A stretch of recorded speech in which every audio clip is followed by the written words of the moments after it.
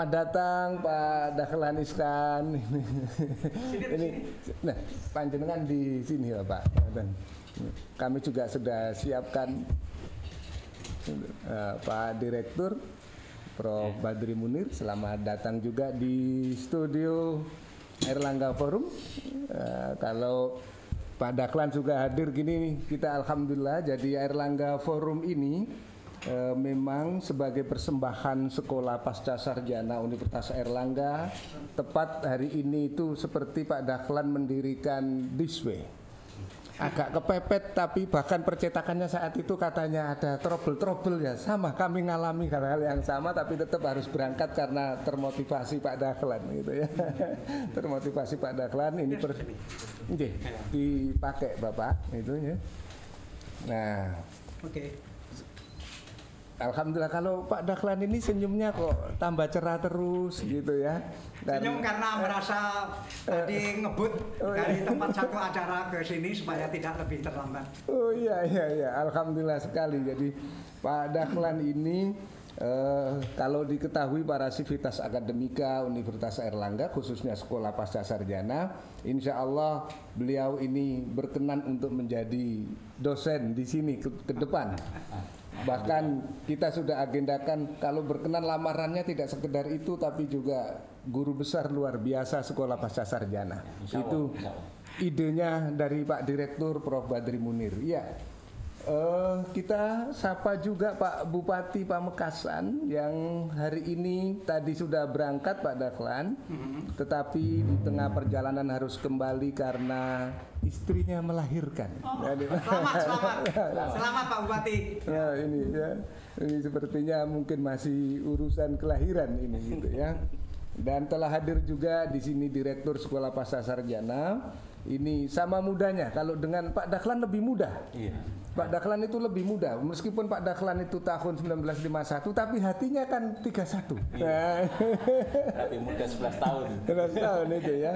Itu kalau Prof Badri ini guru besar termuda saat itu ya di Universitas Erlangga. Hebat sekali. Karena usianya 38 tahun saat itu. Nah, Pak Dahlan ini dengan Erlangga Forum kami punya harapan besar dengan panjenengan yang punya motivasi terus menerus tapi nama panjenengan ini kenapa ada yang manggil Cak Dahlan? Ada Abah Dahlan, ada Pak Dahlan apa ada kisah-kisah dan ceritanya kalau kami baca di sini nggak ketemu soalnya itu iya abah itu belakangan karena anak-anak saya kan manggil saya abah hmm. terus didengar oleh teman-teman teman-teman ada yang ikut manggil abah ya apa apa oh. abah itu kan di yeah. istri saya kan dari Kalimantan oh. di Kalimantan memang yeah. biasa ayah itu dipanggil abah dari bahasa Arab kan oh iya, ya. iya. jadi yeah. itu aja oh, kalau kalau bahasa Arab itu anta bilang atil Arabiyin nah, itu itu harus anta tata kalau Arab jadi lebih khair. Ya, lebih khair. Jadi itu menunjukkan bahwa Abah Dahlan memang betul-betul terap pesantren ya. gitu ya. Pesantrennya itu memang blok M blok M blok M. Itu blok jadi beliau Magetan gitu. Ya. dari Magetan dan di sini itu kita tahu ada guru besar muda Pro Badri gitu ya. Pro Badri kok muda-muda kok mau jadi guru besar gitu. Katanya katanya cepet tua malah. Iya, gimana gimana resepnya itu ya? Ya itu. Iya. Alhamdulillah diberi keberuntungan oleh Allah gitu bisa ya. kenal dengan banyak orang uh, yang hebat-hebat dan beliau-beliau mau mementori mm -hmm. uh, baik yang ada di sini maupun yang ada di uh, luar negeri sehingga yeah, yeah. jadi lebih lancar Pak. Oh iya, dari, dari Blok M kita ke Blok L ini Pak. Jadi beliau itu Blok Lumajang. Sa eh, dari Blok Lumajang berarti sama nanti kalau saya juga Blok L kan Lamongan. Oh, iya. Tapi Bangladesh, bangsanya Lamongan desa. oh, Bangladesh istilahnya. Bangladesh anu. Bangsa Pro, Lamongan, Lamongan desa. Itu karena sekarang saya harus panggil beliau Prof Dahlan. Oh. Mm -mm. Jadi kenapa begitu? Karena prosesi guru besarnya biar tambah semangat. Gitu Abah Dahlan atau Pak Dahlan, kalau menurut panjenengan ini, menurut panjenengan sebelum urusan-urusan kepahlawanan, urusan pandemi, urusan ekonomi, apa persepsi panjenengan tentang sekolah pasca sarjana dengan kepemimpinan yang ya guru besar muda? Kira-kira harapan dari orang luar ya, tapi nanti akan masuk menjadi bagian di kami semuanya. Apa harapan besar panjenengan tentang kampus, tentang UNER, tentang dunia internasional? Apa yang perlu kami persiapkan misalnya? Hmm. Ya tentu saya salut ada profesor muda mau menjadi direktur pasca sarjana UNER dan tentu harapan kita pasca sarjana UNER ini akan menjadi center of excellence Ah, dan ya. terutama tentang di bidang pemikiran Hmm. karena Surabaya ini terkenal sebagai kota dagang, kota industri. Zaman Belanda dulu terkenal sebagai kota pelabuhan, kemudian sebagai kota yang dekat dengan basis perkebunan, sehingga memang tradisi intelektualnya harus dikembangkan supaya tradisi dagang dan industri ini bisa eh, melebar lagi menjadi tradisi intelektual. Jadi misi eh, Ya. Prof ini sangat besar karena harus mengubah Surabaya Ya. tidak hanya sebagai berwajah dagang dan industri tapi juga berwajah intelektual.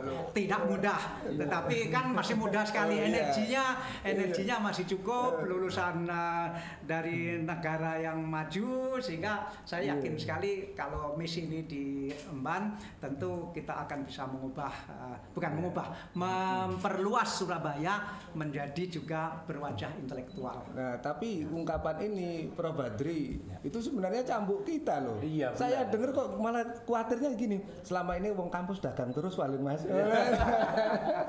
Apa kira-kira ada kritik gitu. Iya. Jadi intelektualitas jangan-jangan di- di- dido- didorong oleh beliau ini, ini intelektual apa antektual gitu ya. Karena perdagangan nah, padahal kan dari perdagangan itu juga bisa lahir intelektual-intelektual kan. Betul. Kan beliau juga bisa berkembang seperti sekarang pasti ada percikan intelektual. Nah, Kira-kira Prof Badri gimana kritik itu? kalau menurut kami gitu eh, di jajaran pimpinan Universitas Erlangga, alhamdulillah dalam lima tahun ini kami berhasil meningkatkan jumlah publikasi eh, ilmiah di jurnal yang terindeks Scopus Pak Dahlan Eh, sepanjang hidup UNER dari tahun 54 sampai tahun 2015 publikasinya hanya 623 Hmm.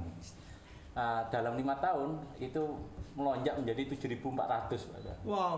Ya, jadi itu lonjakan yang luar biasa. Cuman tantangan bagi kami adalah bagaimana menghilirisasi atau eh, apa ya, menjadikan diskusi-diskusi ilmiah tadi itu membumi di kalangan masyarakat sehingga tradisi intelektual yang panjenengan eh, amanahkan tadi kepada Universitas Erlangga insya Allah bisa kami eh, fasilitasi gitu.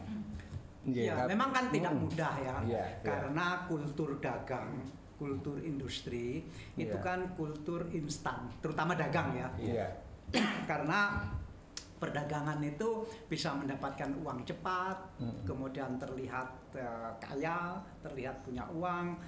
Sedangkan dunia intelektual itu kan harus Iya. ada kesabaran, Betul, betul. harus ada tradisi membaca, harus Iya. ada proses, Betul. sehingga perubahan dari eh, masyarakat dagang melebar menjadi masyarakat intelektual tantangannya tidak sekedar bagaimana eh, karya tulis di tingkat internasional tetapi juga mindset yang lebih luas bagaimana penghargaan terhadap proses penghargaan terhadap eh, ketelitian dan penghargaan ketap- kepada masalah-masalah yang non material itu bisa mendapatkan perhatian lebih tinggi. Misalnya, apakah menghargai seseorang yang mempunyai karya seni yang tinggi itu lebih remeh dibanding misalnya sukses dagang?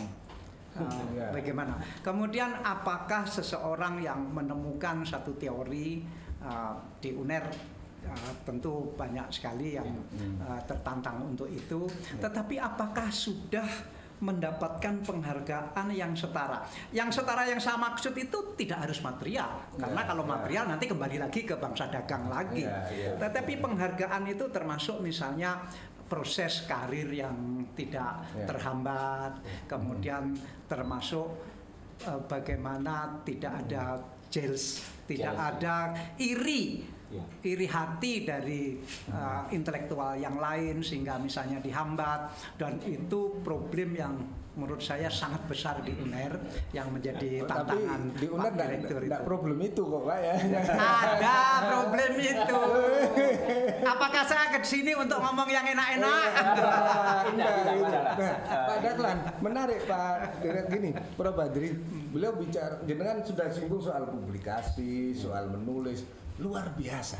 Sekarang Abah Dahlan ini coba tulisannya tiap hari ada apalagi kita sebelum dulu Iya. this way itu itu kan sudah kita di media luar biasa energinya untuk menulis itu loh Iya. yang di mana-mana resepnya gimana yang kurang kampus biar bisa niru gitu apa harus jadi wartawan dulu kita ini ya terang saya pribadi ini penikmat eh, tulisannya Penikmat. Abah Hmm. gitu. Jadi setiap waktu subuh sekarang karena eh, subuhnya sekarang 343 gitu. Eh, Iya. setelah selesai bukanya ya langsung this way. This way, nah. Banyak Dan- hal baru yang bisa Iya. saya dapatkan. Eh, energi yang begini ini bagaimana Abah Dahlan Ya. membaginya itu? Ya memang awalnya karena pressure ya. Iya. Pressure artinya saya harus eh, mengikuti prosedur di mana seseorang itu harus mendapatkan sesuatu yang bermutu Iya. dan saya merasa bersalah kalau menulis sesuatu yang kurang bermutu. Kemudian ada pressure dari deadline namanya bahwa eh, wartawan itu pada detik tertentu harus melakukan hal tertentu. Pressure-pressure itu membuat keterpaksaan pada awalnya tetapi kemudian menjadi kebiasaan. Jadi eh, pressure-pressure seperti itu apakah di kampus bisa ditumbuhkan? Misalnya. Ya. Sehingga eh, pressure itu penting juga. Penting, oh iya, Nah, iya. Sehingga orang tanpa pressure ya cenderung santai. Hmm, tadi padahal mau saya tanyakan siapa yang berani mereser Pak Dahlan gitu ya. Ternyata sudah ditunjukkan ini. Jadi Dulunya, Eh, kalau aduh. sekarang yang mempressure adalah keadaan. Keadaan, yang iya. yang sekarang yang mempressure adalah tanggung jawab. Saya mera- saya mm, karena tadi katanya Hmm. banyak pembacanya, sehingga saya juga merasa berarti saya harus bertanggung jawab kepada sekian banyak orang dan itu tidak boleh sembarangan. Jadi sekarang yang Iya. mempressure bukan lagi atasan Iya, atau iya. bukan lagi sistem, tetapi sudah terinternalisasi ke diri sendiri. Nah itu tadi Pak Dahlan ini Prof Badri. Erlangga Forum ini juga disiarkan langsung oleh radio-radio yang tergabung dalam asosiasi lembaga penyiaran publik eh, milik pemerintah daerah se-Jawa Timur. gitu, Pak. Kami sudah bekerja sama itu dan eh, tentu mereka semua juga memantau. Ini tolong untuk suara catatannya ternyata ada yang kurang jelas. Apakah nanti Abah Dahlan harus perlu mic-nya lebih dekat gitu ya?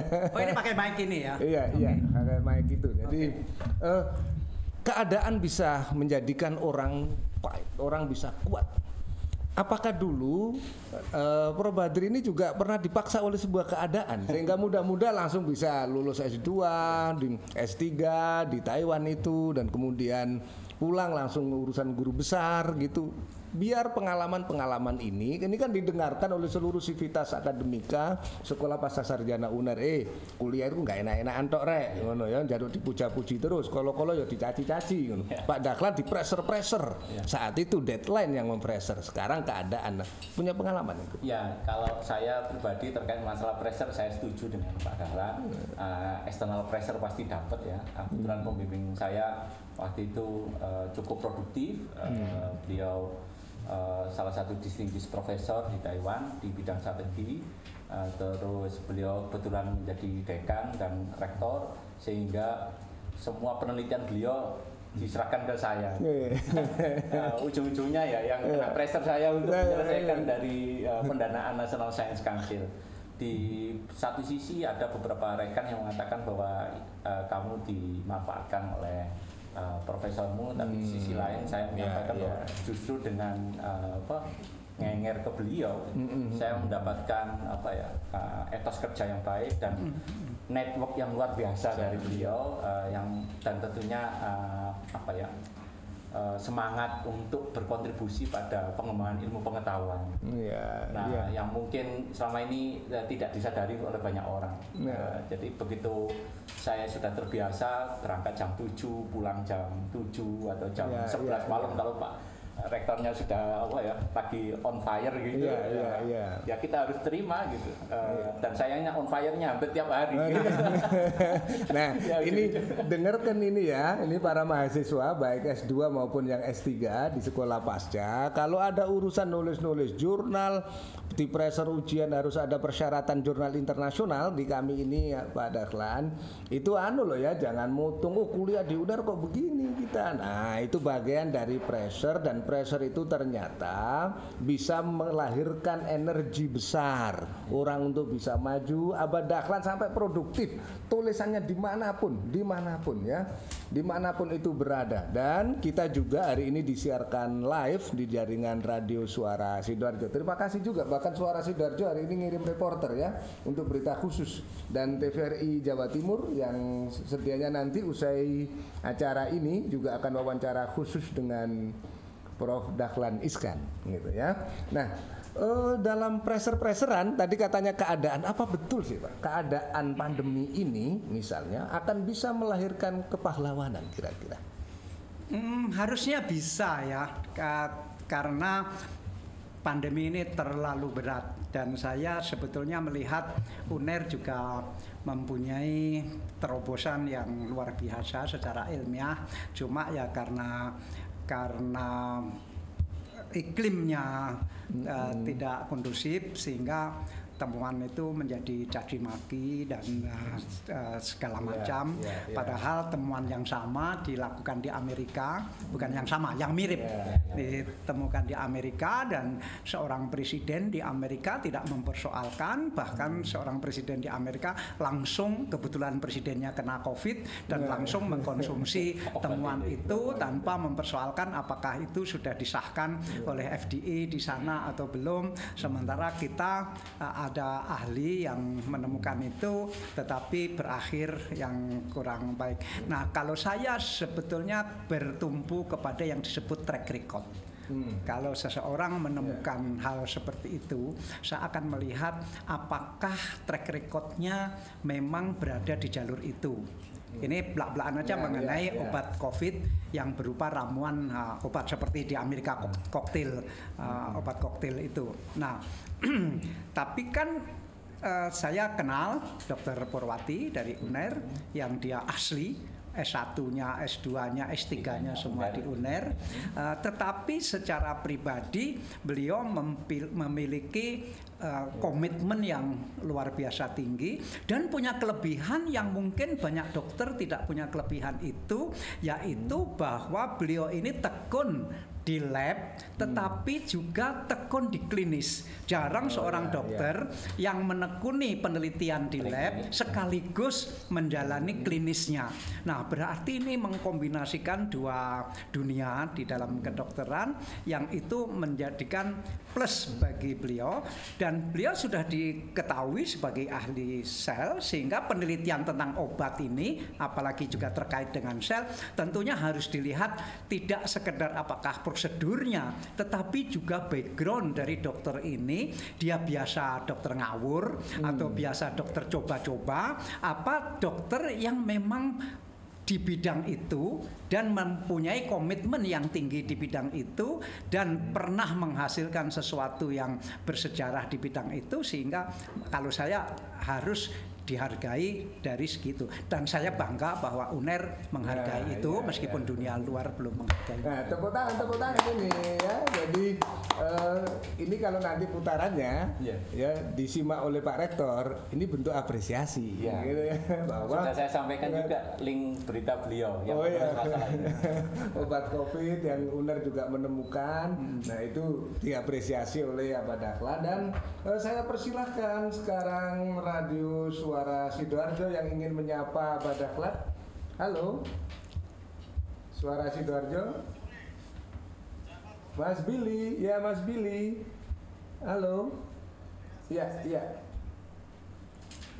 Suara kurang jelas, ya. Delay kelihatannya ya.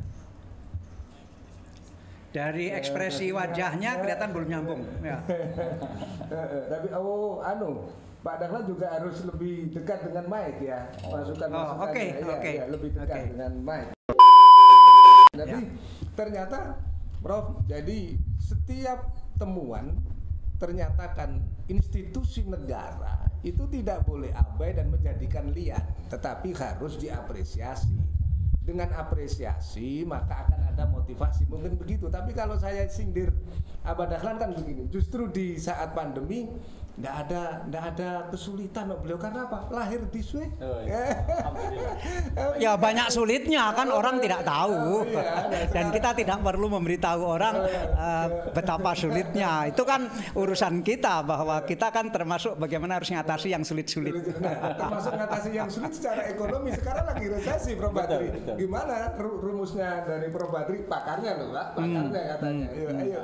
Saya ini juga masih pembelajar aja di bidang ekonomi. Tapi kalau kita lihat dari rumus pertumbuhan ekonomi, ada consumption, ada eh, government expenditure, ada investment, ekspor dikurangi impor. Nah, kalau kita lihat di Indonesia itu memang 60% pertumbuhan ekonomi ini ditunjang oleh eh, Konsumsi. konsumsi rumah tangga. Nah, yang jadi masalah sekarang ketika konsumsi rumah tangga ini sebagian besar bekerja di sektor formal, Oh, iya. nah tentunya ini pasti akan ngefek. Nah, Kalau kita lihat dari iya. survei Bank Dunia memang eh, kita ditunjang oleh 52% orang middle income class.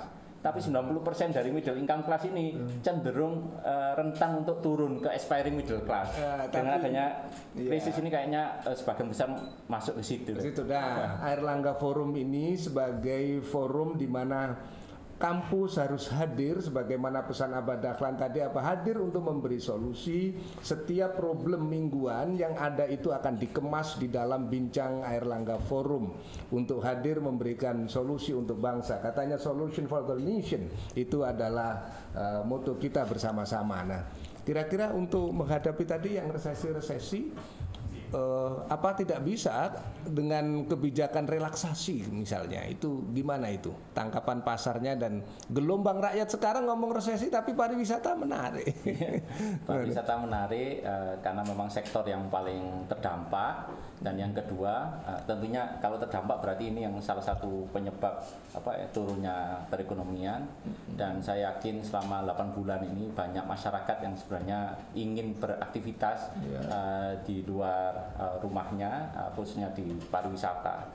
Cuman tentunya harus eh, mengikuti protokol kesehatan, Pak. oh ya kalau soal protokol Berarti sebetulnya uang masih ada di masyarakat. Iya, uang masih ada yang tadi saya bilang apa yang middle income class yang 10% tadi Pak Dahlan. Eh, memang mereka punya penghasilan eh, per kapita itu di atas 5 juta eh, per orang per kepala, tapi mereka cenderung agak pesimis akan masa depan. Sehingga mereka cenderung hati-hati untuk spending sehingga eh, tugas kita bersama tentunya bagaimana eh, membuat eh, middle income class ini eh, willing to spend uh, sehingga bisa menggerakkan perekonomian. Baik atau buruk mereka hati-hati belanja itu? Uh, bisa dianggap baik karena itu bisa menggerakkan perekonomian dari sisi pengambil kebijakan. Uh, tapi kalau misalnya uh, beliau-beliaunya itu sudah punya optimisme yang tinggi bahwa uh, dalam apa enam bulan ke depan uh, ekonomi ini akan membaik, saya rasa uh, itu akan cukup membantu. Kalau ekonomi publiknya begitu, saya sekarang tanya, ekonominya para pemegang kendali media massa apa juga uangnya masih banyak kira-kira? Kalau saya coba menyampaikan Pak Dahlan, uh, mungkin peran dari media massa ini adalah Ya. mungkin bisa menyebarkan apa ya good vibe ya, maksudnya bagaimana menimbulkan harapan bahwa sebentar lagi uh, vaksin ini akan uh, ditemukan sudah sudah uji klinis yang ketiga. Uh, sehingga mereka bisa willing to spend. Sama seperti yang disampaikan oleh Profesor Schiller uh, pemenang Nobel tahun 2012 bahwa epidemiologi dari uh, krisis ekonomi ini bisa diselesaikan kalau banyak berita-berita yang positif, yang membangun, yang bisa disampaikan oleh uh, semua pihak. Tapi kegelisahan ini kan sebenarnya eh, media itu menyampaikan tak Pak Daklan? Atas sebuah realitas. Kan apa ada media-media yang bohong-bohongan? Kalau kita kepingin yang benar-benar langsung baca di Sway misalnya gitu. Kan ada. Jadi ini kan potret sebuah realitas. Realitas sekarang memang kalau pandangan banyak pihak sudah resesi. Menurut Pak Daklan tapi rakyat Indonesia ini tetap tersenyum loh Saya kira Prof. Badri tadi betul bahwa optimistis adalah salah satu daya dorong pertumbuhan ekonomi karena optimistis menimbulkan spending gitu. Yeah, yeah. Karena itu Bank Indonesia itu biasanya melakukan penelitian uh, survei pas survei yeah. yang disebut uh, survei untuk melihat tren positif tidaknya uh, harapan masyarakat. Nah, tentu saya belum membaca hasil uh, survei terakhir dari Bank Indonesia, tetapi bahwa optimis atau tidak itu betul tadi bahwa media adalah merefleksikan kenyataan. Nah, sekarang seandainya media sekarang diharapkan menampilkan berita-berita yang optimis supaya orang mau spending, apakah itu akan menjadi kenyataan? Karena media juga tidak mau dianggap berbohong oh, nanti ya, ya, atau ya. dianggap menjerumuskan. Maka kalau saya menghitung bahwa optimisme itu sumbernya tidak lagi dari obat COVID, tetapi dari uh, vaksin, vaksin, ditemukannya ya, vaksin. Ya, ya, Dan ada yang mengatakan kemarin menjamin bahwa November sudah mulai ada. Nah, apakah sekarang November sudah ada? Ternyata kan hmm. belum ada berita uh, yang mengatakan sudah ada, mundur lagi Desember. Nah, ini membuat orang akan ragu-ragu sehingga menurut pendapat saya karena vaksin ini merupakan satu-satunya harapan untuk menimbulkan optimisme, yeah. maka sebaiknya ada penjelasan yang eksak. Yeah. Kapan vaksin, vaksin ini, ini. Uh, dimulai dan tahapannya siapa? Kemudian kelompok mana, kelompok mana, kemudian bisakah swasta membeli secara mandiri, kemudian melakukan penyuntikan secara mandiri, biarpun biayanya lebih mahal. Ya, Saya kira ya. kalau memang optimisme itu diharapkan, maka sumber optimisme itu harus disampaikan dulu. Dan yang ya. bisa menyampaikan ini adalah pemerintah, pemerintah. begitu. Uh, karena media pasti tidak mau nanti hmm. sudah me, mengang, masyarakat mengajak-ngajak masyarakat untuk ber berbelanja ternyata uh, COVID-nya uh, belum bisa lewat. Dan itu ini kan berbeda dengan uh, krisis tahun 2008 atau krisis pada tahun 98 krisis saat itu adalah krisis yang tidak mengancam jiwa seseorang nah, sekarang ini kan krisis yang mengancam jiwa seseorang. Saya memilih aman daripada melakukan sesuatu, meskipun sesuatu itu baik untuk orang lain. Ah, sekarang ini peduli kepada orang lain itu menjadi nomor dua. Nomor satu adalah peduli kepada diri sendiri karena menyangkut uh, keamanan. Jadi agak beda, Prof. Uh, uh, bahwa optimisme ini pen, uh, penting, penting. Tetapi apakah sudah tepat disampaikan pada saat sekarang? Begitu. Nah, terima kasih sekali. Apakah Apakah Pak Bupati Pamekasan sudah bisa mendengarkan ini? Halo? Ya, terima kasih. Uh, saya merasa mendapatkan uh, kehormatan diundang oleh Prof. Juju sekaligus uh, bersama Pak Dahlan yang saya bangga dengan Pak Dahlan, saya hormat kepada beliau. Dan mudah-mudahan Profesor Dr uh, dan diberikan kesehatan dan panjang umur. Amin, amin, amin. amin. Sejak saya dulu masih mahasiswa, saya biasa membaca uh, opini, artikel, dan beberapa tulisan dari beliau. Woy. Bahkan waktu apa itu yang ganti hati itu saya mengikuti bukunya sampai selesai. Uh, renyah dibaca dan inspiratif yang ya. untuk mengatasi COVID yang kemarin dapat penghargaan nasional juga itu gimana ceritanya itu Pak? Jadi Prof. Badri Munir, terima kasih sudah sehat dan umur Pak Spalko Wijoyo, Prof. Jojo ini guru saya juga. Ini eh, saya banyak terinspirasi juga oleh beliau, semua teman-teman yang sangat saya hormati. Uh, saya memulai sesuatu itu uh, tidak dari biasa. Kalau orang memulai sesuatu dari yang biasa, maka tidak mungkin akan luar biasa. Dan uh, dari sesuatu yang tidak biasa itu, uh, betapapun beberapa orang banyak kadang-kadang uh, salah paham. Tetapi ketika salah paham bisa kita beri penjelasan. Tetapi yang repot itu kalau sudah paham salah. Kalau sudah paham salah itu butuh waktu yang nggak panjang lagi untuk memberikan penjelasan, pemahaman tentang beberapa hal yang sedang kita lakukan. Nah, Itu yang pertama. Yang kedua, saya berpikir tidak mungkin deh ada hasil yang uh, luar biasa dari kerja biasa. Karena saya selalu uh, uh, mulai dari pikiran bekerja uh, luar biasa dalam sudut pandang saya dan uh, sudut pandang ini juga ditawarkan untuk bisa sama-sama uh, dipahami dan menjadi langkah luar biasa. Sama halnya dengan mengelola pemerintahan. Kalau mengelola pemerintahan itu ya uh, pakai habit lama terus, administrasinya lama, sementara COVID cepat penyebarannya ya tidak mungkin bisa uh, uh, bisa cepat me mengenangani COVID. Sehingga beberapa langkah yang kita lakukan dalam penanganan COVID bisa mendapatkan penghargaan dari para pihak. Tetapi penghargaan itu sebenarnya bukan tujuan kita. Tujuan kita adalah bekerja sungguh-sungguh dengan, dengan harapan uh, kita bisa mendapatkan hasil yang.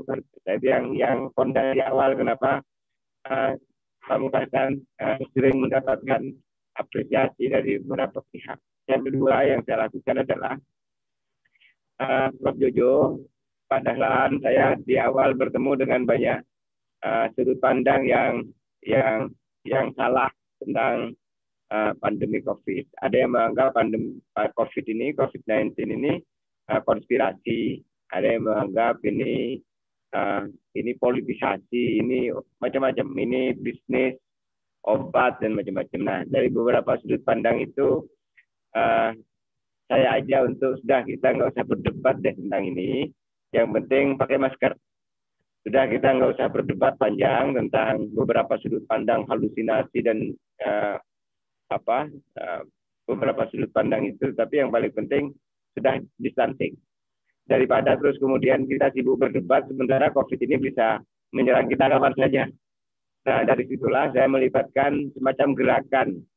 Kalau tidak jadi gerakan, ini yang yang yang sering saya lakukan. Kalau ini tidak jadi gerakan, hanya jadi program, uh, tidak ada partisipasi. Sementara sukses sukses gerakan apa pun, sukses pembangunan apa pun itu setidaknya harus ada tiga hal. Yang pertama, uh, leadernya leadernya benar, Baru kemudian yang kedua, uh, yang mau dilakukan kegiatannya, programnya benar. Baru kemudian yang ketiga adalah uh, partisipasinya bagus.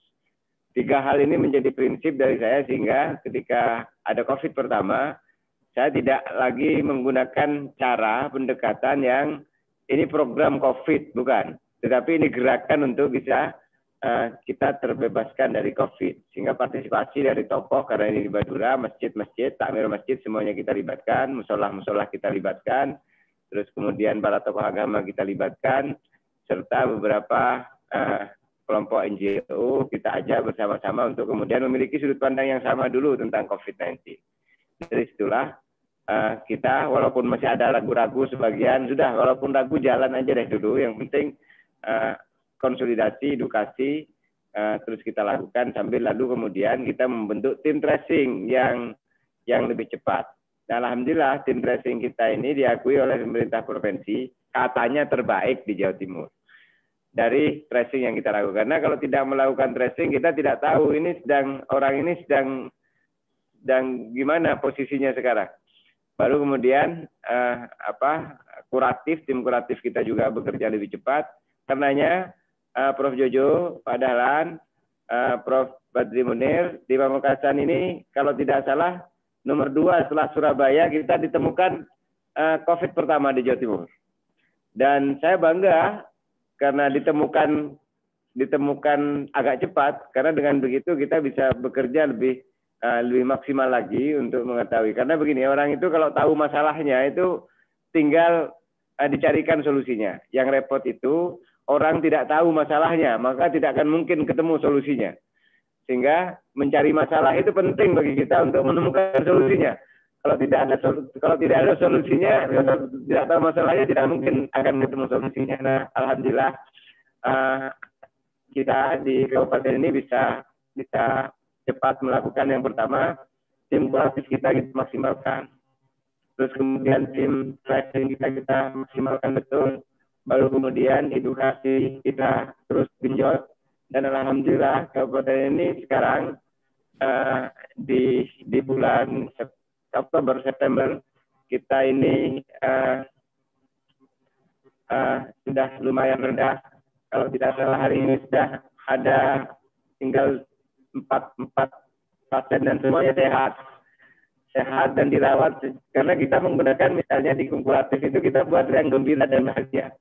Masyarakat tidak boleh panik tetapi waspada. Karena kalau panik di semua sektor yang lain akan terganggu. Intinya uh, dari beberapa referensi yang saya pelajari tentang COVID ini, COVID ini akan mengganggu orang yang uh, imunnya rendah, orang yang kurang bahagia, orang yang tidak menjaga kesehatan. Sehingga yang perlu didorong pertama menghadapi COVID ini tidak dengan panik, tapi dengan yang gembira dan dan, dan sehat itu.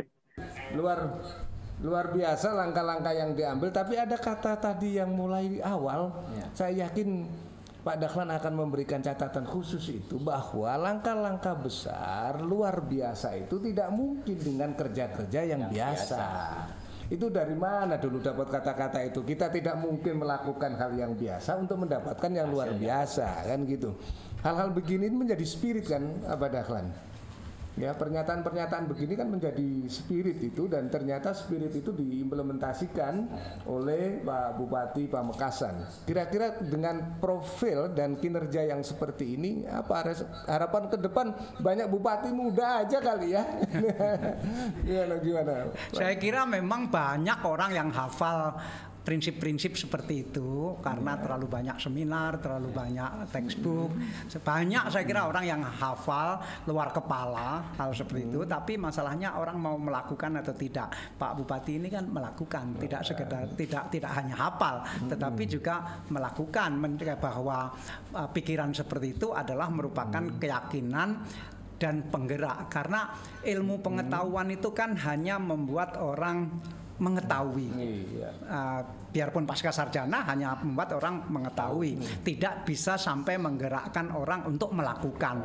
Nah, hmm. sehingga uh, pengetahuan uh, how, membuat orang how to know, iya. tapi tidak bisa sampai ke how to do. Iya. Nah, Pak Pak Bupati yang harus menyampaikan bagaimana pengetahuan itu berubah dari tingkat how to know menjadi how to do. Karena Pak Bupati yang sudah uh, sudah doing um, gitu ya. Hmm. Jadi Uh, ini tembakin juga jadi motivasi besar oleh Pak Badrut Tama tapi ini biar kalau panggil saya kan memang Prof. Jojo. Jadi ya. lainnya no Cak Parto saya ini Jojo ya. Ini spesial ini spesial ini. Kalau manggil saya Prof. Jojo. Riwayatnya apa sampai dipanggil Jojo? Nah itu Pak Bupati yang tahu berarti oh. ya. Jadi jadi uh, saya yakin dengan hal-hal semacam ini apalagi ini Pak Dahlan Pak beliau ini sekarang juga menjadi mahasiswa di sini. Hmm, di pasca sarjana. Ya, di pasca sarjana ini tapi akan rajin lagi nanti itu kalau Abah Dahlan ini mau ya mau selalu mengajar di sekolah pasca sarjana dan eh, saya takut tidak memenuhi syarat.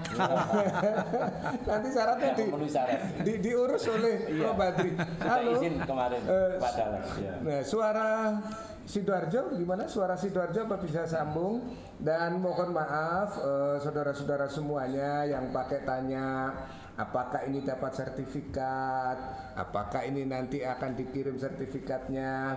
Soal sertifikat tidak dipikir dulu. Yang kita pikir dapat ilmu apa tidak, dapat wawasan bertambah apa tidak, ini mohon maaf bukan kritik keras tapi ini adalah bagian bahwa kita hadir di sini adalah untuk bersama-sama atmosfer akademik Universitas Erlangga kita bangun tanpa embel-embel sertifikat dulu loh ya. Kata sebut namanya kok. Ini ya gitu. Jadi eh, kalau kita sekarang kembangkan lebih jauh saya bersiapa dulu suara sidoarjo Mas Billy Baik, Caparto, selamat sore Caparto. Bisa mendengar suara saya? Alhamdulillah, terang ini, terang, terang. Iya, iya. Selamat sore, selamat sore. Baik, ini Jadi perlu... ketukaran ya kalau Pak Dahlan kan bisa Abah Dahlan. Ono Cak Dahlan, saya pakai Caparto sekarang ya. Baik. Gimana dari suara Sudarjo? Baik, ini berarti saya menyapanya Abah Dahlan begitu ya? Iya, iya, iya. Iya, Sudarjo. Sudarjo apa? Ini mungkin dari saya pribadi, sebenarnya pernah bertemu Abah Dahlan saat saya masih duduk di bangku SD ya. Akhirnya punya kesempatan ngobrol ini saat sudah uh, berstatus pekerja begitu ya. Ini mungkin uh, perlu saya informasikan juga, kita juga disiarkan serentak di banyak sekali lembaga penyiaran publik lokal yang ada di Jawa Timur. Ini Caparto bersama dengan Persada Blitar. Ada Mahardika Kota Blitar juga. Suara Kota Probolinggo, Suara Ngawi, Suara Pacitan, Suara Sampang, Suara Jombang, Suara Madiun, Praja Angkasa Trenggalek, Ersal Nganjuk. Ada Pradia Suara Tuban, Mahardika Bondowoso, Kanjuruhan Kabupaten Malang, Wika Kabupaten Mojokerto, Ralita Pamekasan, Magetan Indah, RGR Tulungagung, Malowapati Bojonegoro, Ramapati Kota Pasuruan, dan Remaja Klasik Radio Malang, dan pastinya Suara Sidoarjo ya. Sudah ada 20 lebih nih, seperti yang untuk lembaga lokal yang bergabung. Terima kasih loh, padahal kita nggak pakai MOU ya, nggak pakai, belum belum apa tanda tanda tanda tangan, tapi ini sudah hatinya cocok. Kalau sudah hatinya cocok dipersatukan, untuk itu baca buku ini ganti hati. Kalau hatinya belum cocok ganti hati. Ya. nah ini, jadi oke Eh, dalam situasi semacam ini tentu kita ingin mencari hikmah-hikmah. Kira ini kan agak spiritual kalau yang begini karena diharapkan begitu, Prof. Badri tapi untuk urusan hikmah-hikmah tentu kan setiap peristiwa semacam pandemi hari-hari ini ada pelajaran besar. Abah Dahlan saja punya kreasi kemudian sampai munculkan Diswe. Nah sekarang kalau kita mau belajar Abah Dahlan, kalau ada hikmah apa di balik sebuah peristiwa besar semacam pandemi yang bisa didengarkan oleh orang Jawa Timur dalam bahasanya Abah, gitu. Kalau ke bahasa kita ini nanti melip ya. Saya kira karena kita bicara di UNER, Iya, iya. yang terpenting adalah bagaimana kita menghormati ilmu pengetahuan. Oh. Saya kira Pak Bupati Pamekasan adalah pemimpin daerah yang termasuk yang tersulit karena memimpin masyarakat yang Hmm. mungkin ada yang berpendapat bahwa ini adalah konspirasi, ini adalah azab dari Tuhan, ini adalah hukuman dan segala macam. Uh, tetapi kan, tapi itu juga tidak harus membuat kita minder karena di Amerika pun juga ada. Sampai hari ini pun di Amerika masih ada bahwa COVID ini bukan penyakit. COVID ini eh, akibat banyaknya di sana LGBT misalnya masih ada Pak Bupati. Jadi bukan hanya orang-orang kita di Amerika juga begitu. Ya kita sabar saja. Tetapi bahwa yang lebih utama adalah bagaimana ilmu pengetahuan lebih mengemuka sekarang ini. Karena apa pun memang terbukti bahwa ini kan tidak bisa diselesaikan dengan dukun, tidak bisa diselesaikan dengan eh, eh, hal-hal yang non medis ini sesuatu ini suatu yang masalah yang sangat ilmiah. Karena itu saya tentu berharap bahwa bukan hanya berharap bagaimana momentum ini para ilmuwan, para ma- masyarakat ilmu pengetahuan uh, bisa lebih mengemukakan ilmu pengetahuan untuk membuat masyarakat kita lebih berorientasi pada Iya, uh, iya. ilmu pengetahuan. Kalau kalau saya itu Mm-mm. Jadi itu luar biasa sebentar ini belum bisa dimasuk. Nah, kok belum bisa? Saya ingat Caranya. waktu saya selesai operasi dulu, saya punya program untuk bagaimana, bagaimana ikut mendorong masyarakat mau menjalani imunisasi hepatitis B. Karena saya dulu kan kena kanker hati antara lain karena sebelumnya terkena hepatitis B. Tetapi dan waktu itu saya lakukan di Pamekasan. Waktu itu Pak Bupati masih belum jadi bupati, masih sangat muda. Dan memang di sana waktu itu masih ada kelompok yang mengharamkan imunisasi hepatitis B dan ini pun nanti Pak Bupati juga tentu menghadapi hal yang sama bahwa ini nanti halal atau tidak ini terbuat dari apa nah itu semua adalah masalah eh, ilmu pengetahuan yang memang kita harus lebih mengemukakan ilmu pengetahuan sekarang ini Ya, terima kasih sekali. Ini motivasi besar Prof. Badri bahwa ilmu tidak boleh takluk. Ya, oleh klinik, oleh klinik. Apalagi masa di kampus di kampus untuk itu apa? Pak Bupati milihnya kan tidak salah pilih. Kuliahnya akhirnya di sekolah pasca sarjana UNER. Karena apa? Ilmu tidak akan takluk oleh klinik. Ya, ilmu ini harus menjadi cahaya penerangan gitu. Saya kira yang terberat nanti tidak lagi dari klinik, Iya. tetapi juga dari keyakinan agama. Karena Iya, iya. kalau dari keyakinan agama itu kita melawannya agak susah, Hmm. karena melawan itu bisa bisa dianggap nanti temannya setan atau segala macam begitu. Nah ini saya kagum lah dengan Pak Bupati Pamekasan ini di tengah-tengah masyarakat kita yang seperti ini bisa melakukan sesuatu yang sangat besar di dalam hal COVID ini. Nah itu berarti kan Anu Probadri bahwa kesempatan masyarakat punya optimisme, punya daya apa kekuatan kemarin itu kepercayaan diri yang jenengan singgung sampaikan kemarin itu coba diulang di sini lah itu biar yang hero hero ya hero hero hero coba. Oke.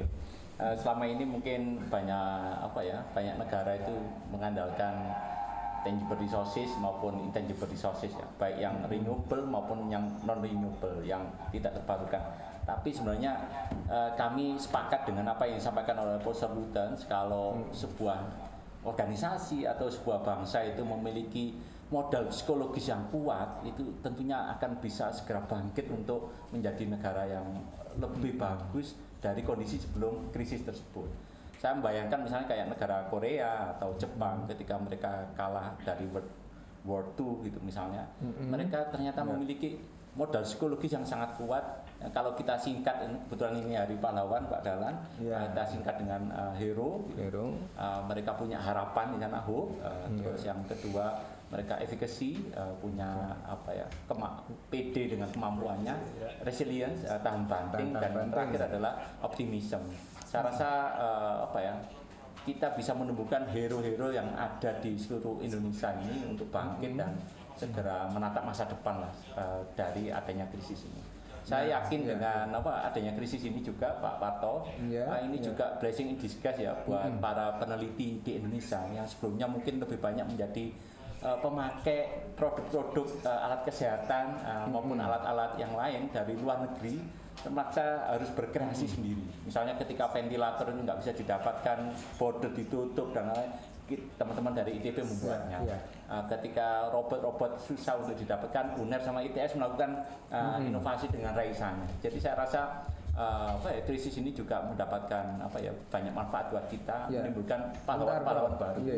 Ini ada beberapa SMS yang sudah masuk, Abah Dahlan. Pak Bupati juga bisa akan merespon semuanya. Contohnya ini dari manajemen logistik Muhammad Ilham. berarti. Nah ya, Eh, Pak, masa COVID-19 ini kan banyak yang dirugikan, baik pemerintah atau orang biasa. Yang jadi pertanyaan, apa setelah COVID-19 pemerintah dan orang biasa dapat sejahtera ya kita-kita ini? Jaminan kesehatan apa juga akan meningkat, ekonomi juga akan stabilkah? Orang di garis bawah juga akan berkurangkah? Atau setelah COVID ini ya memang kita biasa-biasa saja? Jadi eh, pasca COVID saya yakin kita sudah terlatih dengan tadi hero kita ya hope kita ini malah ingat tulisan beliau dulu yang lama-lama ya. Ya, manufacturing hope. Eh, eh, jadi kita ini punya selalu punya harapan, kita punya optimisme, kita punya kepercayaan dan itu semua pasti akan membuat lebih baik. Tapi sinyal bahwa kehidupan rakyat lebih baik, Pak Bupati. Apakah nanti pasca COVID-19 kira-kira skenario yang disiapkan oleh Pamekasan apa? Jadi eh, kita hari ini sedang ulang tahun eh, Kabupaten Pamekasan yang ke-400 dan Ulang tahun juga.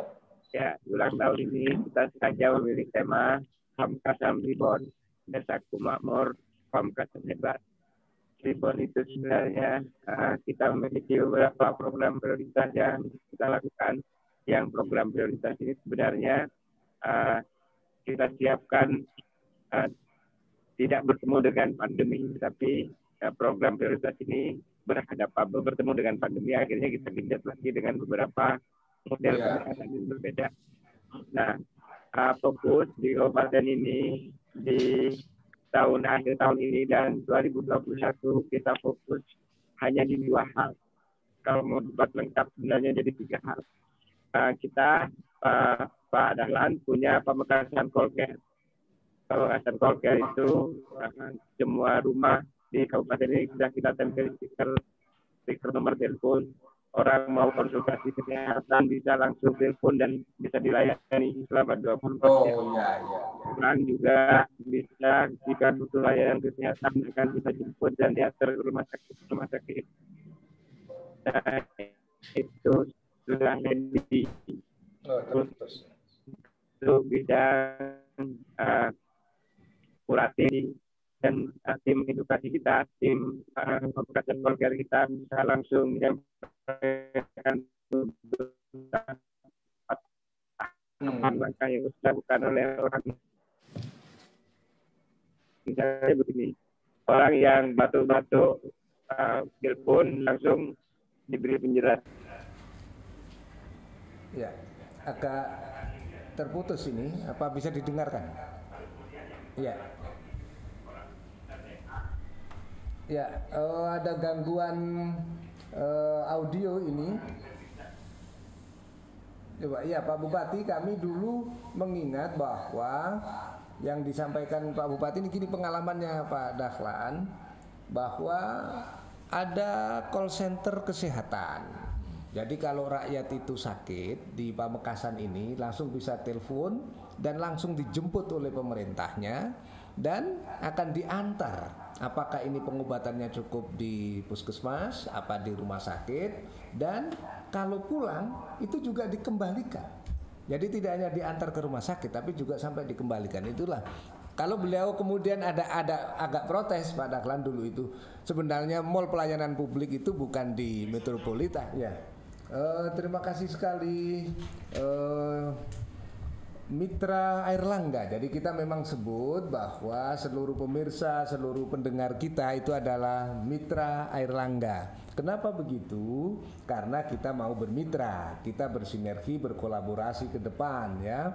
Dan di Sekolah Pasca Sarjana Universitas Airlangga ini kami infokan juga ke Pak Bupati, ke Abah Dahlan ya.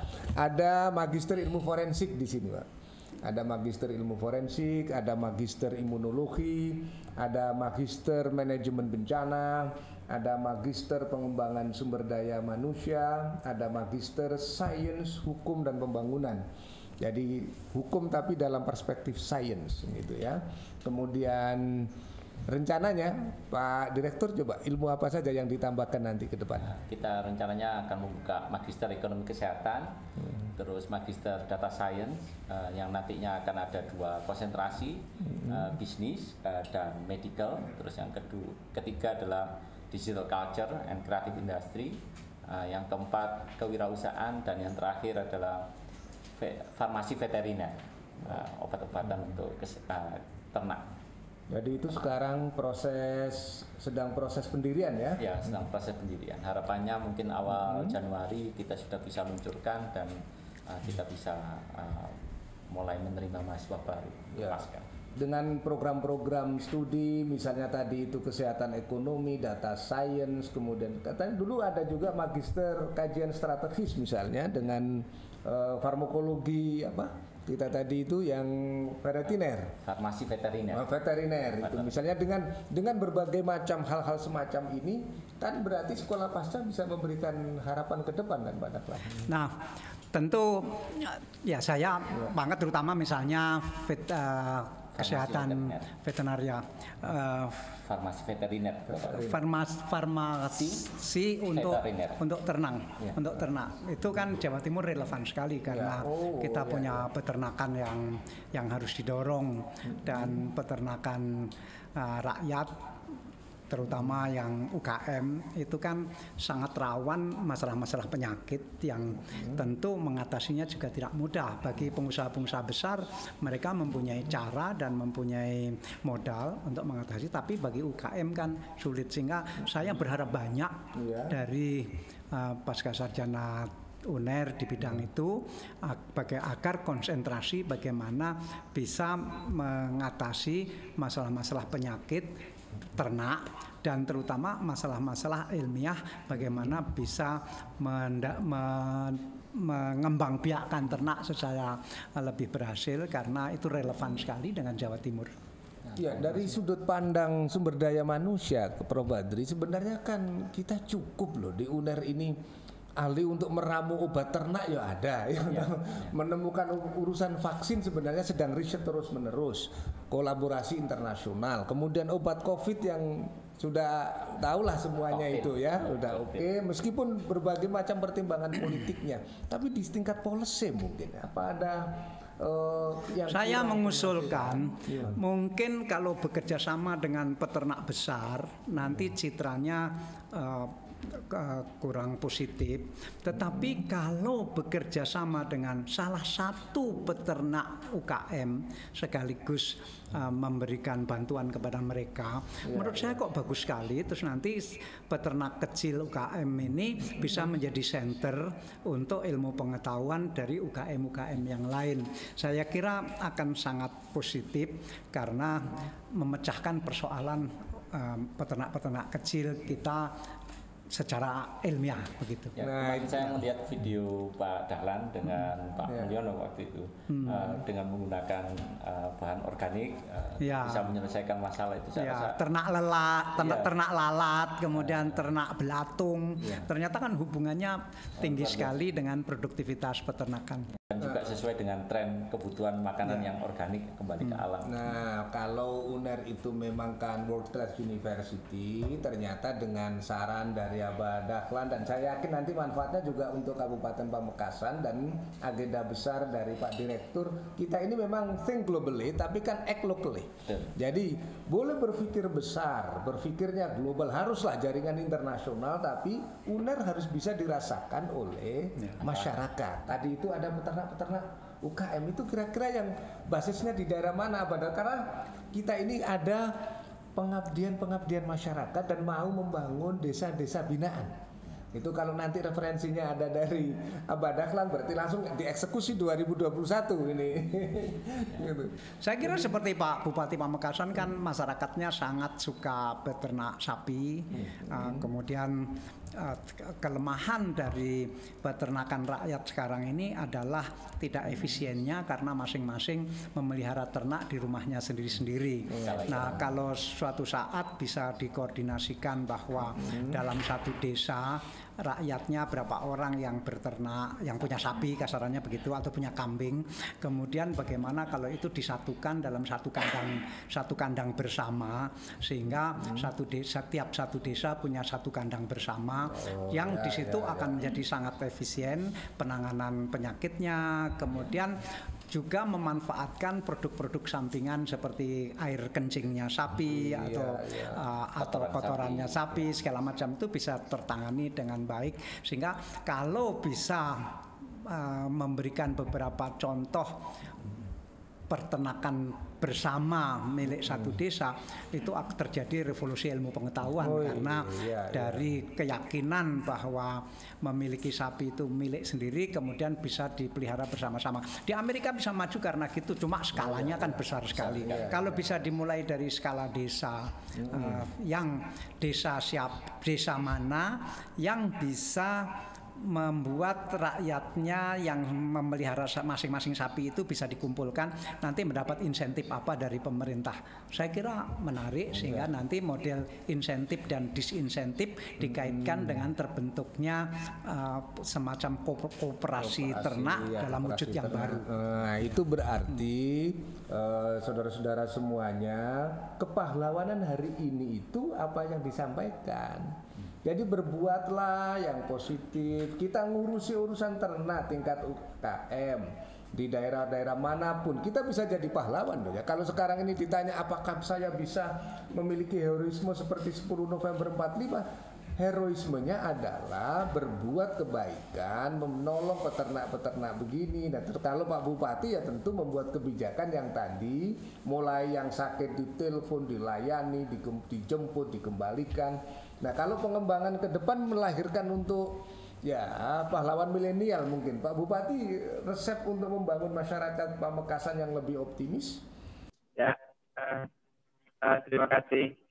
Saya jadi saya dulu pernah membaca salah satu buku tentang Haiji ya Tiongkok yang tahun 76 mengalami resesi ekonomi. Eh, Gubernur Haiji membuat kebijakan one village one product waktu itu. Eh, setiap village di Haiji oleh gubernurnya diminta untuk menemukan, mendefinisikan tentang potensi ekonomi yang mau dikembangkan di desanya. Baru kemudian setelah itu eh, semua desa harus memiliki produk. Uh, jadilah konsep One Village One Product yang di 2014 ditiru, di copy paste oleh uh, uh, negara kita menjadi One Village One Product. Itu di Haiti sudah tujuh tahun 70-an yang lalu, di kita masih 2014 kemarin. Nah, di kabupaten ini saya menggunakan pilihan strategi yang berbeda. Saya tidak mau uh, memilih uh, pilihan cara untuk mendorong pertumbuhan ekonomi itu dengan one village one product, tetapi dengan cara desa tematik. Nyambung dengan yang disampaikan Pak Dahlan, uh, harapan saya desa tematik itu ada uh, desa uh, peternakan, ada desa pertanian, ada desa UKM, ada desa um, nah pilihan itu tidak harus satu produk jadinya tetapi bisa banyak produk. Nah di peternakan misalnya ada kampung sapi jadi kandang komunal kita dorong kandang komunal di masing-masing kelurahan uh, di masing-masing dusun baru kemudian di dusun yang lain bisa saja kambing di dusun yang lain bisa ayam karena saya berpikir bahwa isu uh, yang menarik untuk bisa kita dorong menjadi bagian dari kebijakan pemerintah masa kini dan masa depan adalah isu pangan. Uh, isu isu pangan ini penting untuk kemudian bisa kita dorong bersama-sama menjadi bagian dari gerakan uh, uh, swasembada pangan di seluruh uh, desa misalnya di kabupaten ini. Baru kemudian yang kedua kesehatan. Di kesehatan kita dorong juga bagaimana masif tidak hanya sehat tapi tidak hanya uh, tercukupi kebutuhan pangannya, tapi juga kesehatannya. Yang yang kita lakukan di sini adalah uh, mohon Pak Prof Jojo, Pak Prof Badri, uh, seluruh orang Pamekasan ini mau hmm. sholat, mau yang rajin sholatnya atau yang yang tidak begitu rajin itu mesti pakai peci, oh, mesti ya. harus, mesti. Nah, saya berpikir selama ini setelah saya datangi masing-masing orang itu hampir seluruh sarungnya itu tidak ada yang diproduksi di Pamekasan. Hmm. Akhirnya karena Pamekasan punya batik, saya ke mana-mana sekarang pakai sarung batik. Biar hmm. kemudian batik saya terjual. Nah, yang songkok juga begitu. Saya sudah teman-teman melalui desa tematik sudah kita latih. Yeah. Uh, ya dengan cara yang lama tetapi dengan cara model kebaruan alhamdulillah sudah bisa memproduksi itu ada kampung songkok ada kampung sandal ada kampung tas dan kemandirian ekonomi seperti inilah yang kita dorong terus dengan desa tematik dusunnya juga harus tematik dengan potensi dan ini kita gerakan anak-anak muda semuanya. Oh iya, luar biasa. Terima kasih itu. Pak Bupati saya jadi ingat ini waktu uh, perwakilan dari pengusaha-pengusaha Nagoya ya Nagoya yang waktu diceritai oleh Pak Bupati ini Pak Dahlan Oh ini ada kampung bate, ini kampung sapi, kampung kambing, kampung sandal, kampung songkok, kampung sarung. Itu Jepang saat itu Nagoya itu ingin MOU, ingin bekerja sama, tetapi kemudian kena COVID, terjadi terjadi COVID ini. Nah, hal-hal semacam ini berarti kan sudah ada kreativitas ya, kreativitas. Pemimpin daerah ternyata kalau kreasi, dia berkreasi. Sekarang ini kalau ada mobil batik lewat itu mesti orang pikirannya Pamekasan, kan gitu. Bagaimana sekarang kampus juga hadir menjembatani ini. Untuk itu Pak Bupati kuliah di sini harus terjembatani ini, harus terrealisir ini program dengan Nagoya nanti ya. Yang pengusaha-pengusaha dagang, kamar dagangnya lah intinya yang dulu ingin bekerja sama itu kira-kira merespon kebutuhan semacam ini Pak Badri kesiapan sekolah pasca gimana? Ya, uh, dari beberapa opini yang selalu saya tulis mungkin dalam setahun terakhir uh, saya berfokus pada uh, pentingnya sebuah negara atau sebuah daerah itu memiliki industri strategis yang nantinya akan menjadi lokomotif.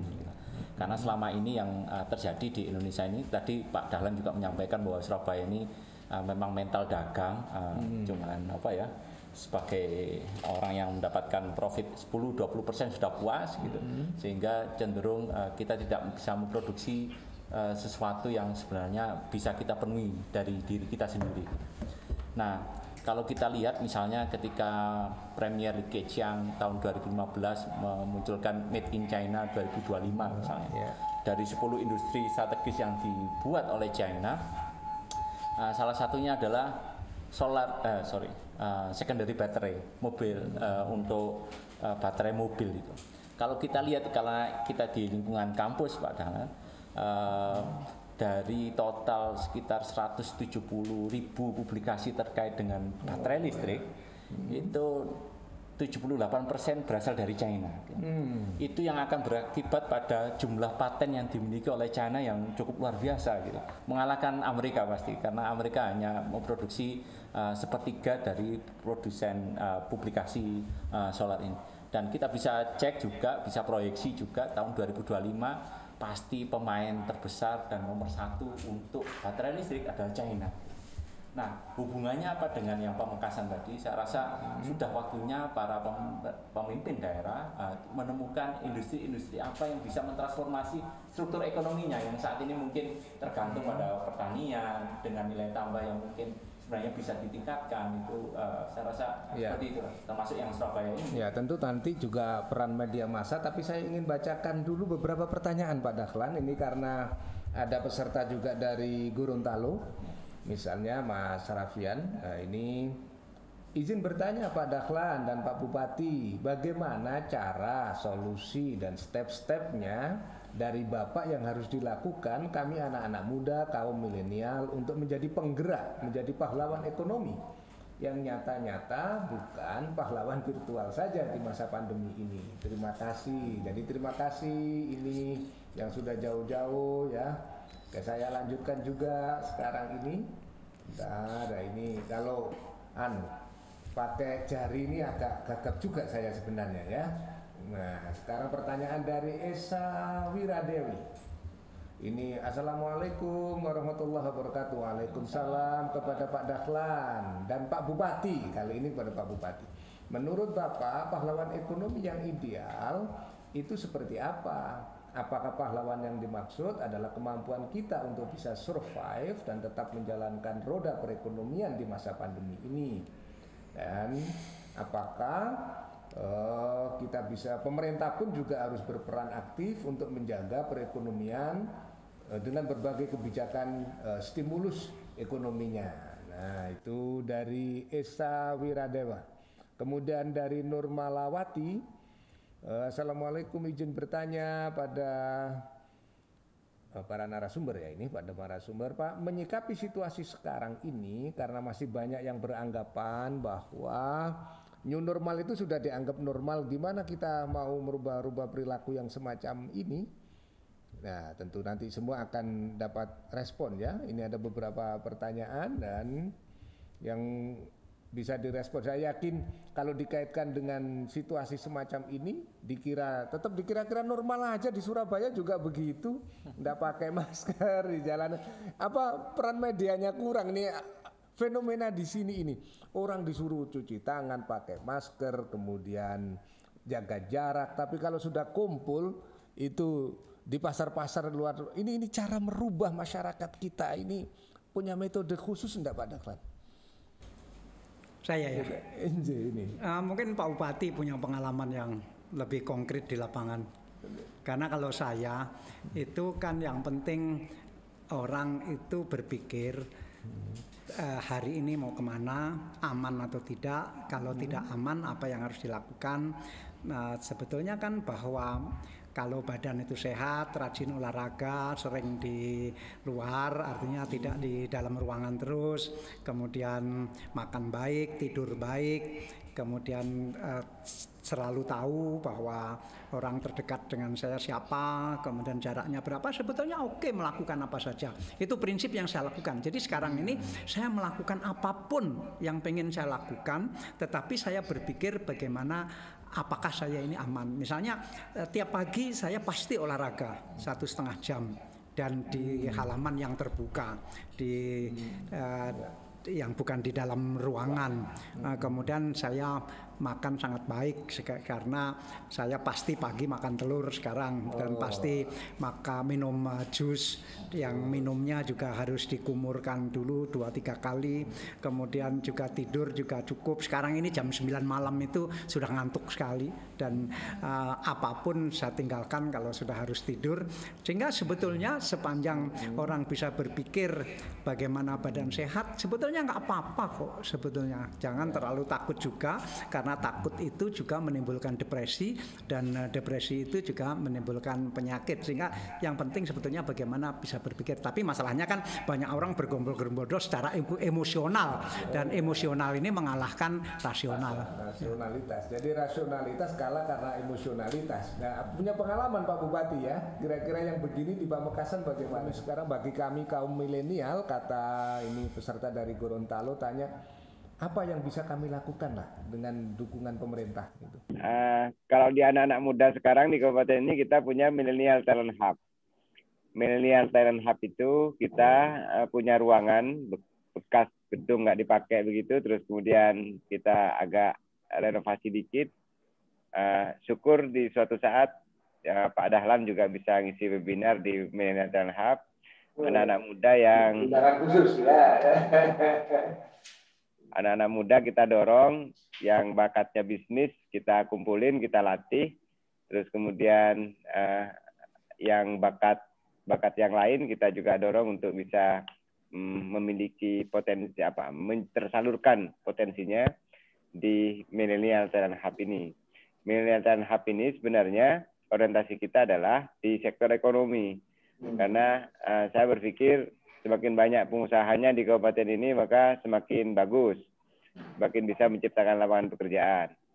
Uh, saya dulu waktu kuliah sambil jualan kerupuk juga uh, tidak apa-apa. Oh, iya, iya. Saya juga melakukan itu.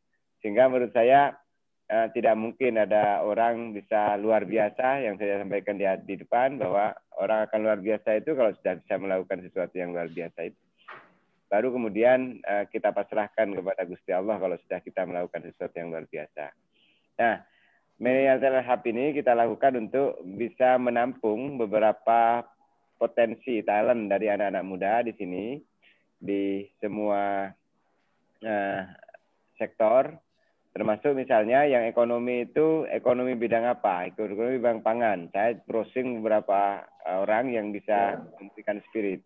Karena rata-rata saya baca profilnya Pak Dahlan juga ya dulu dari dari bukan putranya pengusaha bahkan putranya kiai di di di, Magetan ya di Magetan ya. orang yang melampaui batas batas uh, ketokohan dari dari ayahanda beliau. Nah, ini yang menginspirasi saya sehingga kalaupun tidak diakui saya sebagai santrinya, kira-kira ini saya santrinya ya. Oh iya iya iya. Baca banyak buku banyak baca buku beliau dan tulisan-tulisan beliau. Oh iya. Itu yang kita lakukan di Millennial Hub. Yang penting untuk anak-anak muda itu uh, tidak narkoba deh. Yang pertama. Yang kedua uh, mau melakukan sesuatu yang di luar uh, dilakukan Biasa. oleh banyak orang. Karena saya ngitungnya sederhana. Kalau jumlah orang di misalnya di Jawa Timur ada eh, 38 sampai 40 juta yang sukses. Masuk kategori sukses itu harmoni keluarganya bagus, ekonominya bagus, terus kemudian tatanan sosialnya tetangga-tetangga dan saudaranya bagus, terus kemudian memiliki peran yang bagus.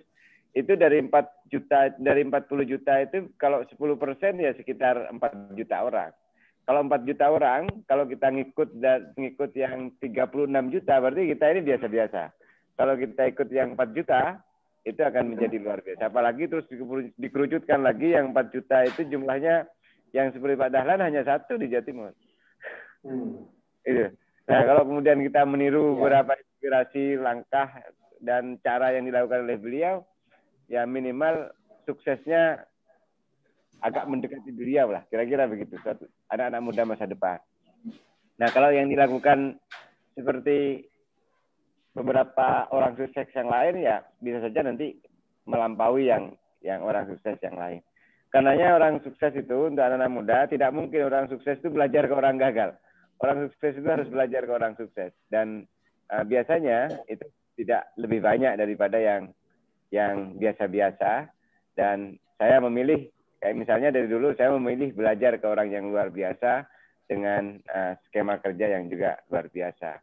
Nah, anak-anak muda mesti mestinya menurut saya ya jauhi narkoba dulu deh karena sekarang saya Pak Dahlan di Madura ini Jawa Timur informasinya uh, narkoba tertinggi kedua setelah DKI dan yang membuat tinggi itu karena faktor Madura. Nah, saya sedih sekali kalau sudah begini. Anomali ini uh, masjid banyak, musolah banyak, pengajian banyak, terus kemudian tapi narkoba juga terbanyak. Nah ini saya sedang merancang dengan beberapa stakeholders untuk bisa mengurangi ini, syukur bisa sampai hilang.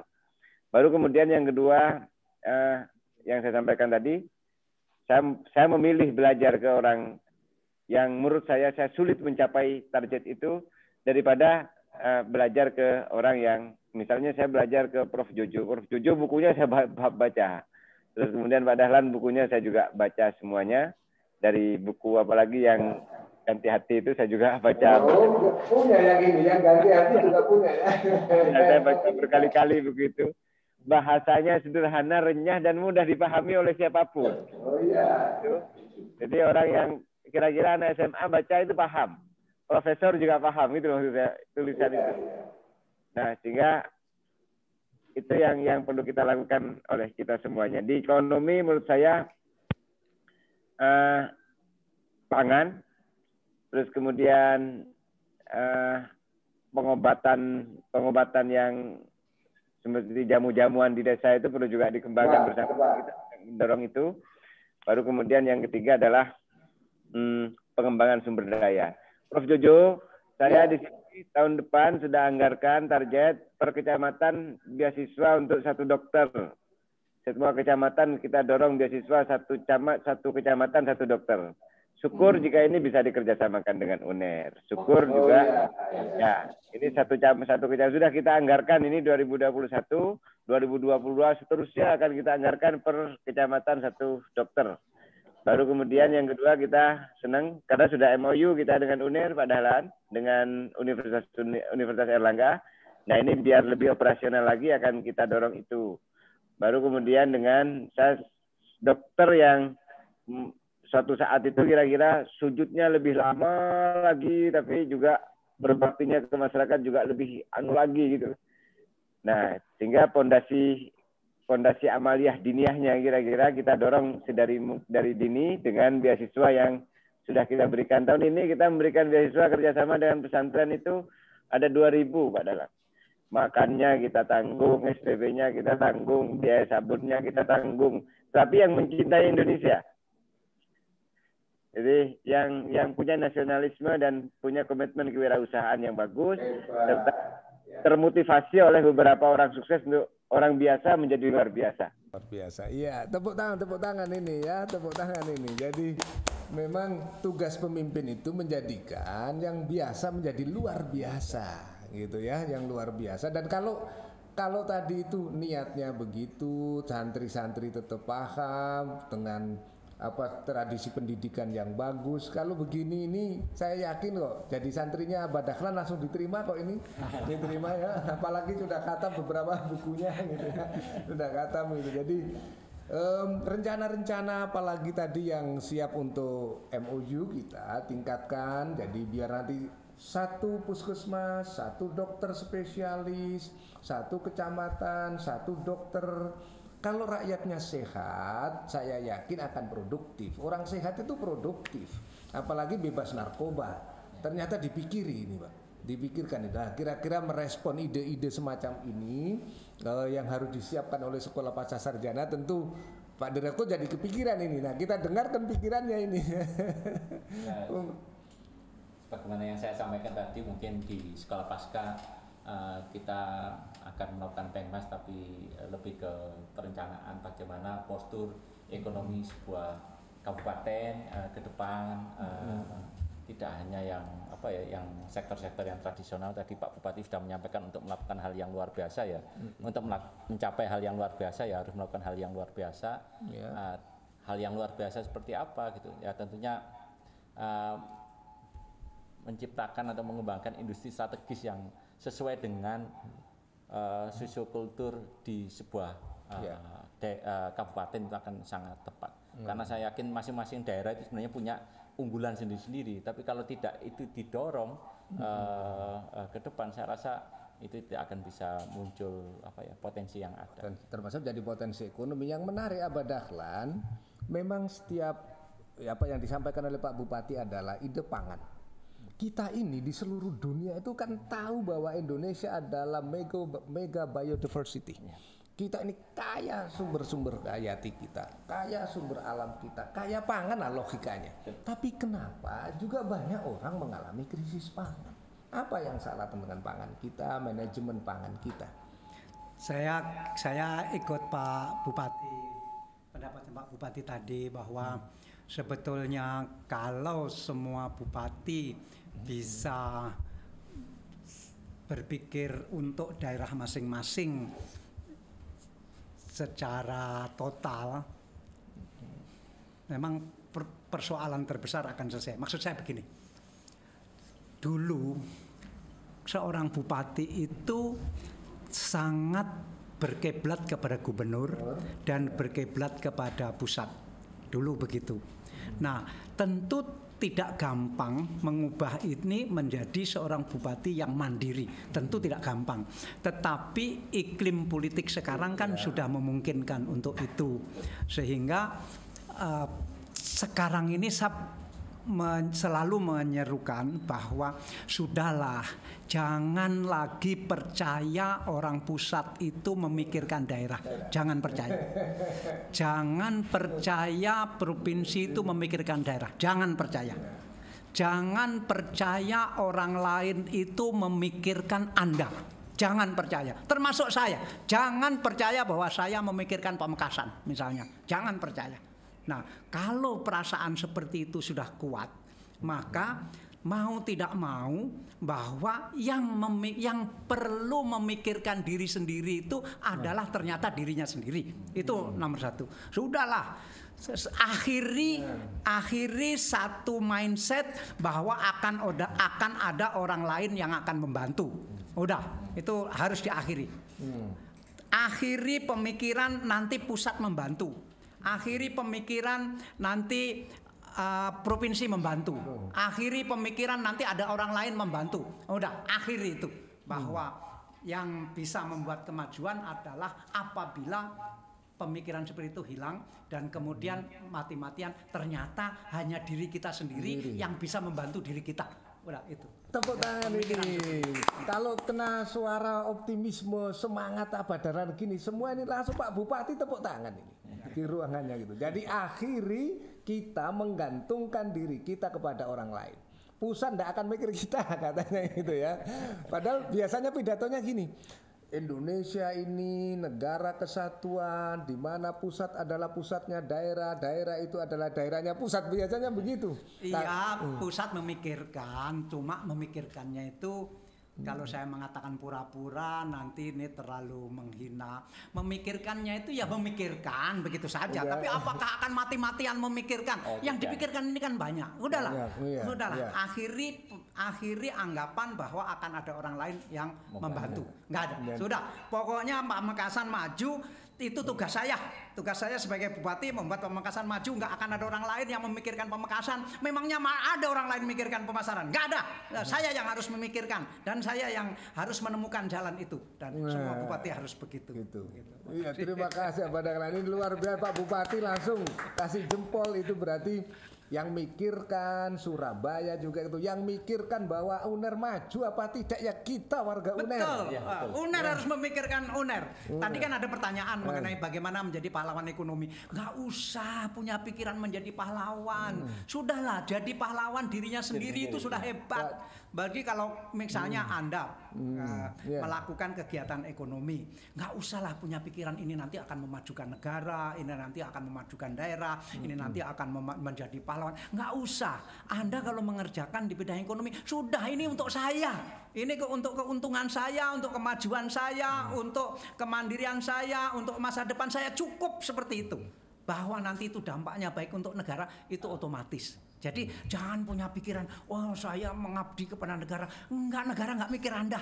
Anda harus mikir diri sendiri, nanti nanti otomatis itu Anda sama dengan mikirkan negara. Nah, jadi luar biasa kalau kita mampu memikirkan diri kita dan kita bisa mandiri, kita kemudian bisa berkreasi, maka itu berarti Anda semuanya mikirkan negara.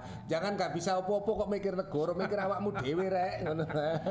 Jadi kalau kalau ini Pak Badri dan Pak Bupati, kalau setiap bulan ada kuliah umum ya Abah Dahlan Iskan yang kayak begini, ini saya yakin ini seluruh mahasiswa sekolah pasca sarjana UNER akan memiliki lompatan. Dia akan memiliki daya kuantum yang luar biasa. Betul. Kenapa? Karena udah oh saya ini aja yang akhirnya ikut-ikut keras begini. Ya, Pak Bupati juga sekarang terus akhirnya oke oke oke. Ya kita tanya Pak Bupati, belak-belakan Bupati, saja. ayo. Ya, Pak Bupati. belak-belakan saja. Siapa yang membantu Pamekasan? Memangnya ada?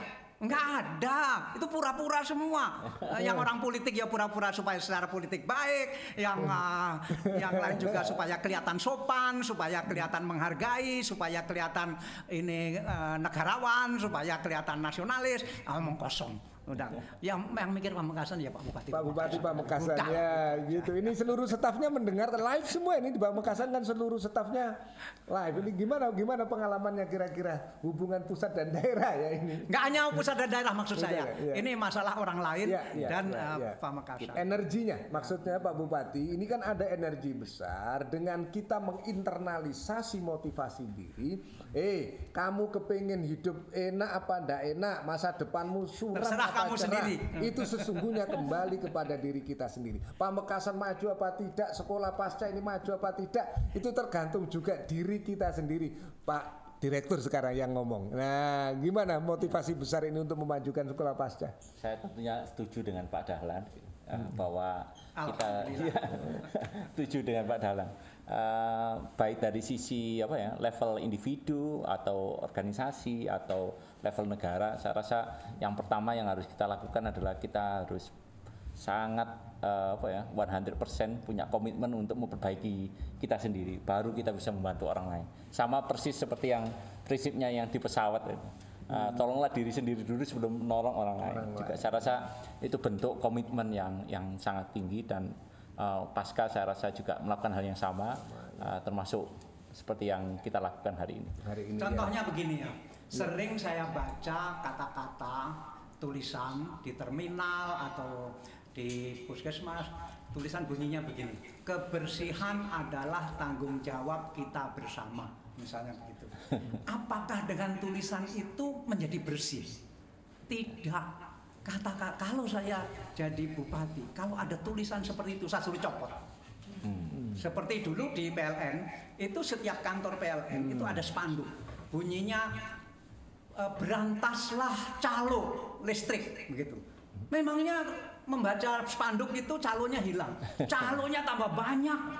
Karena apa? Berarti secara secara tidak langsung, oh ada calo ya, bisa jadi calo ya. Begitu.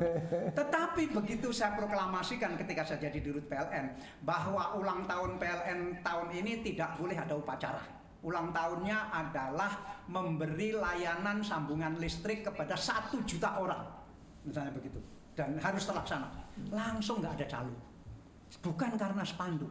Jadi misalnya ada kebersihan adalah tulis uh, kebersihan Tanggung adalah jawab. tanggung jawab bersama.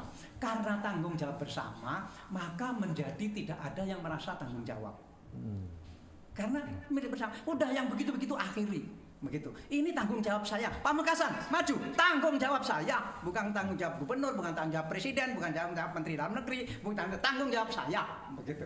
Pasca sarjana maju, tanggung jawab Prof. Bradi. Udah. Nah, iya iya iya iya iya.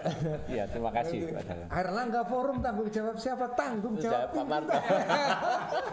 Ini tanggung jawab sivitas. Iya. Ini tanggung jawab enggak ada maju. Maju. Memang karena enggak ada istilah tanggung jawab bersama itu enggak ada. Enggak ada. Semua adalah tanggung jawab masing-masing. Untuk itu dalam bahasa santri. Kulukum Ra'in ra'in. wa kullukum mas'ulun Ra'iyati. ar-ra'iyati nafsi nafsi. Ujungnya kan gitu. Jadi nah, ini kalau begini ini santri semua ini ya. Jadi Pak Bupati tanggung jawab Bupati gitu. Jadi sama dengan ini suara Sidoarjo dan para radio semua yang di seluruh Jawa Timur mohon maaf kita ini sedang ngatur sebenarnya tadi pesennya memang per 30 menit ada jeda iklannya. Mohon maaf begini. Eh, nanti di episode selanjutnya tentu akan dengan rondan yang lebih jelas, yang tertata, yang sambung terkoneksi. Tapi ini kan pertama, kemudian sebagai pengalaman yang Pak Daklan, Pak Bupati juga sudah bisa semacam ini. Eh, saya yakin ini adalah pelajaran ya, pelajaran tanggung jawab saya ya untuk ke depan lebih baik gitu ya. Nggak saya nggak boleh nyala tim ini ya. Jadi, ini adalah tanggung jawab saya nanti untuk apa bisa lebih bagus gitu ya. Eh, Airlangga Forum akan hadir itu memang pertama membincang masalah. Tatkala tahu persoalan dipetakan Kata Pak Bupati tadi masalahnya tahu maka pasti ada hikmah di situ. Jadi tadi waktu awal-awal Ya. eh, suaranya tidak bagus tadi tanggung jawab siapa? Eh, tanggung jawab saya. Ya. tanggung jawab saya itu ya. Jadi berarti ada kekurangan yang kita harus berbenah. Jadi ngaku salah itu lumayan. Ya. Iya, ini pelajaran ini pelajaran sebagai penanggung jawab acara ini dan nanti akan terkondisikan lebih bagus lagi. Saya percayalah. Eh, hari esok pasti lebih baik daripada hari ini dan itu adalah Belum semangat kita. tentu. Oh belum tentu itu. Pak. Kalau tanggung jawab itu berarti itu kan belum tentu. Belum tentu. Semua orang hafal masa depan lebih baik, iya, Ya. tapi belum tentu. Nah, nah, probabilitas yang tidak tentu ini kita tanyakan. Yang tentu yang bagaimana ini Abah Dahlan ya. Ini. Jadi oke luar biasa. Makasih, Eh, makasih. Saya terima kasih sekali kepada Abah Dahlan Iskan yang juga senyumnya dan tandanya beliau mau hadir hari ini itu adalah lamaran Prof Badri agar beliau berkenan menjadi dosen Alhamdulillah. sekolah pasar sarjana itu tampaknya diterima beliau. Alhamdulillah. Apalagi kemudian ke depan ada prosesi untuk guru besar luar biasa itu juga ada dan ini motivasi maksud saya itu tanggung jawab siapa? Tanggung jawab Prof Badri. Nah, Iya. Loh, Bapak sudah langsung setuju. Iya. Betul gitu dan terima kasih kepada seluruh jaringan lembaga penyiaran publik ya dari pemerintah-pemerintah daerah se-Jawa Timur. Sungguh kami sangat berterima kasih juga pada Pak Bupati, Pak Mekasan, Pak Batur Taman dengan segala kreativitasnya, dengan segala temuannya, dengan segala layan, dengan segala tanggung jawab saya tadi itu tanggung jawab Pak Bupati. Ini sudah jadi logo ini nanti. Tanggung jawab siapa ini? Tanggung Tanggung jawab jawab saya. Nanti seluruh staf di pasca ini, eh urusan begini tanggung jawab siapa? Tanggung jawab saya Pak. Nah, harus bisa begitu. Kenapa IT-nya ada ada kendala? Nah tanggung jawab saya. Nah, gitu ya. Tanggung jawab bersama. Ya, tidak ada tanggung jawab bersama gitu ya. Nah, sama dengan saya terima kasih juga kepada eh, Suara Sidoarjo yang juga memfasilitasi itu dan juga pada TVRI Jawa Timur gitu ya. Eh, Kata-kata penutupnya saya juga tentu akan memintakan pada Abah Dahlan nanti Enggak, terakhir. enggak, enggak ada kata-kata penutup. Semua kata-kata tadi penutup. Oh semua kata-kata penuh. Terima kasih. sekali. Jadi eh, ada Pak Bupati, Pak Bupati ya apa sebagai ungkapan terakhirnya, anu kata-kata ke depan, kata-kata ke depan. Kalau Abah Dahlan tadi anu semua kata-kata penutup, saya kata-kata pembuka semua. ini ini kalau sudah santrinya kalau kiainya model begitu santrinya ikut-ikut ya ini ya Eh, eh, eh. jadi eh, terima kasih pada Pak Bupati dan selamat atas kelahiran dari Ya, putra selamat, putri itu. selamat, luar Selamat. biasa. Ya Allah kasih karunia di hari pahlawan kita. Dan semua eh, pendengar saya yakinlah menyemai kepahlawanan masing-masing tidak perlu jadi pahlawan yang macam-macam jadilah pahlawan untuk diri sendiri Prof Badri silahkan Nah, saya juga mengikuti guru. Semuanya kata penutup. Gitu. Eh, semuanya kata penutup dan semuanya kata pembuka maka saya mengambil kata tengah saya. kata tengah gendang gendut tali kecapi kenyanglah perut senang Baik, hati makasih. kita selalu bersama di sini bagi. NKRI Makasih. terima kasih semuanya assalamualaikum warahmatullahi wabarakatuh Waalaikumsalam.